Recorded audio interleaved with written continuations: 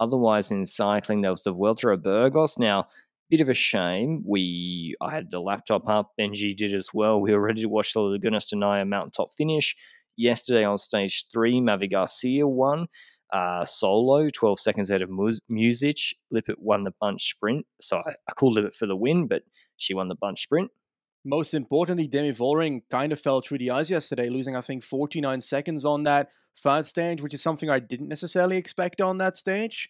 And I think there were some crashes in the race as well, but eventually the riders that were likely to do well on this mountain stage were still looking decent, except that Vollering fell through the eyes. And I was like, okay, what does this mean? Like, is this like an outcome of her crash a week earlier that she's not 100% pulled through yet, or not? And perhaps we'd see that on Lagunas de Naya, but we wouldn't see anything on Lagunas de Naya.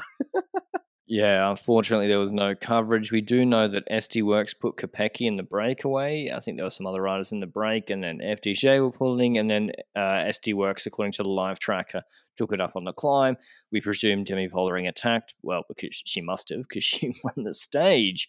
But when we, we did see coverage from the fixed cams with about 300 meters to go, we could see that Juliette Labous the young French rider on DSM, yeah. 23 years old, was not very far behind Demi Vollering.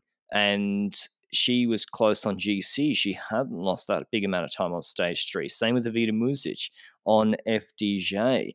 And so Vollering was clearly going to win the stage, but that gap was not huge. So Vollering took the win, but Labous was able to take a big upset GC win, winning a World Tour GC race ahead of SD Worx and Vollering. Muzic even coming second on GC.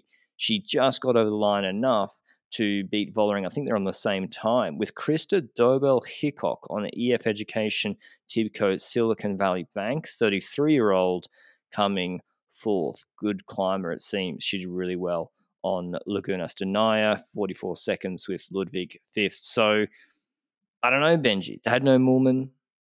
Vollering crashed, but we saw last year, I think AVDB and Van Vleuten were another level above Vollering here. This doesn't bode that well for SD Worx mounting a challenge against Annemiek in the tour.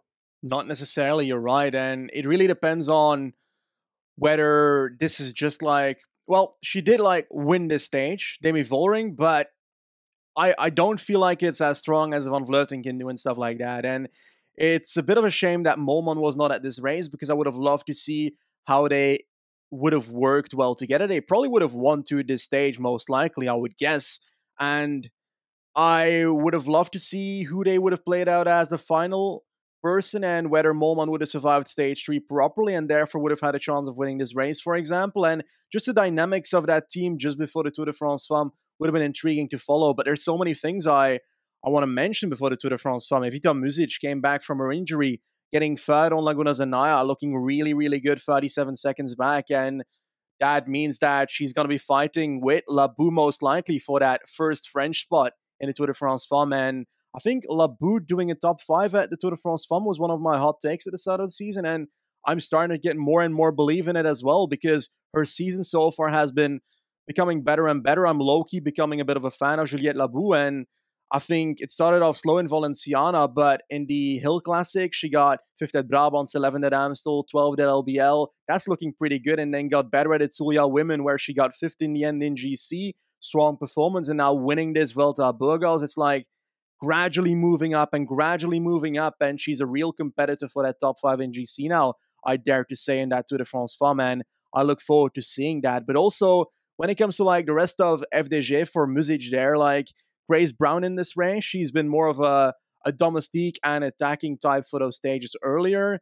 I've got a feeling that she's going to be a pure domestique and stage hunter in the Tour de France Femme, right? I think so, yeah. I mean, on Lagunas de Naya last year on the pure climbs, I think she came a minute nine behind Van der Breggen and Van Vleuten. The big shame for the race was Rooijakkers uh, not starting stage yeah. three, which we haven't updated you on. And as a reminder, she was the big contender for the stage win and probably GC. She might have, I think she would have beaten Labous. And if she didn't have the off day Vollering had, she would have won GC. Yep. She came 15 seconds behind Vollering last year when Vollering, I think, was on a better climbing level.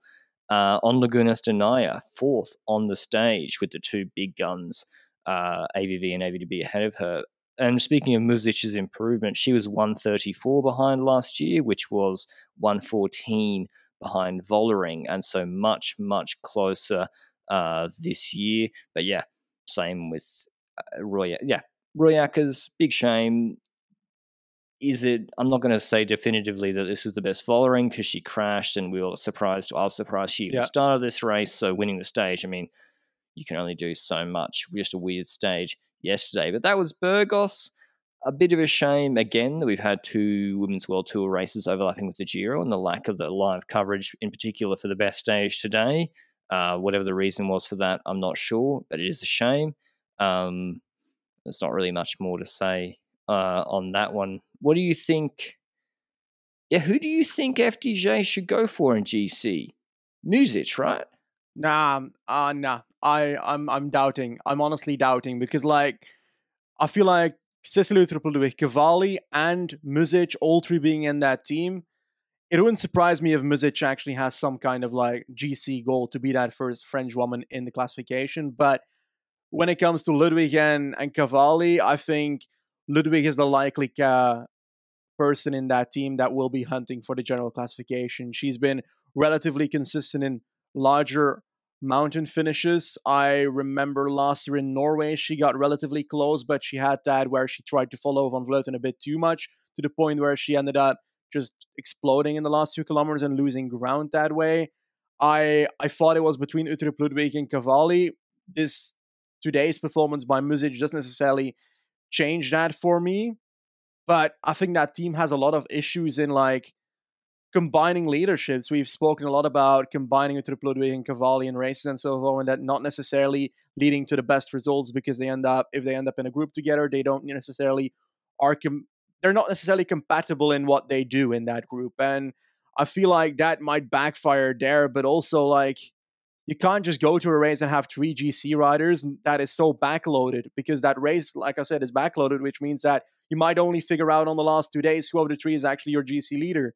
And it might be too late by then to change the guard towards having one GC leader, you know? Because, like, let's say the first one drops, you only have like two riders left, and then you notice, okay, this one's the strongest. You only have one domestique left then on the final climb, for example. So I don't know. It's I've got a feeling it's going to be a bit of a free for all at that team when it comes to leadership. I'd go for Muzic, but let Ludwig and Brown go for the stages in the medium mountain ones or the gravel one. Uh, I think Muzic pure climbing is better than Ludwig. Not by a huge amount, but she's improving fast and she's French. So there's that sort of added bonus as well. Um, I can't really remember any big long climbing performances. I mean, I she's very. She did was it this year on Valenciana? I remember something at least where she performed just a bit better than the Ludwig. I think I could be the other way around. Was it this one? Yeah, uh, Vistabella del Maestro, stage three of Valenciana this year. She ended up being uh, after Ludwig, third on the stage. Ludwig was second, and Van Vleuten was first, and that was a rather long climb at the end of a stage. So that's a performance I see there. But you're right, I don't remember as good as a a long climb performances, and uh, I also think that she's going to be leader when it comes to the Giro Rosa. So combining two leaderships in those bigger races might not be on the menu for her. Yeah, SD Worx. They got many many riders to go for. They have their own sort of issues balancing those things as well. With Kopecky, she can win almost any stage that isn't a pure mountaintop finish.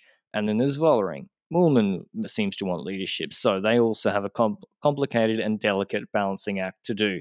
Thanks as always to Zwift for supporting the Lanterne Rouge Cycling podcast. As I've said, they make your online cycling training fun. They have for Benji and myself. If you want to check out Zwift, you can go to zwift.com for a free seven day trial through the link down below. And maybe follow them on Instagram as well to be kept abreast of the news happening with Zwift, which there's some pretty big news coming this year with Zwift. But that's all from us today. Got the rest day tomorrow, not too much racing on then, and we'll be back on Tuesday with Tour of Norway, quick recap, although I'll have main highlights on my on the Lanterne Rouge YouTube channel, so go and check them out, as well as of course the Aprica stage, big mountain stage 16 at the Giro. Thanks as always for listening. If you want to give us a review or a rating on podcast players, that helps a lot, or subscribing on YouTube, and we'll see you with the rest day recap tomorrow. Ciao.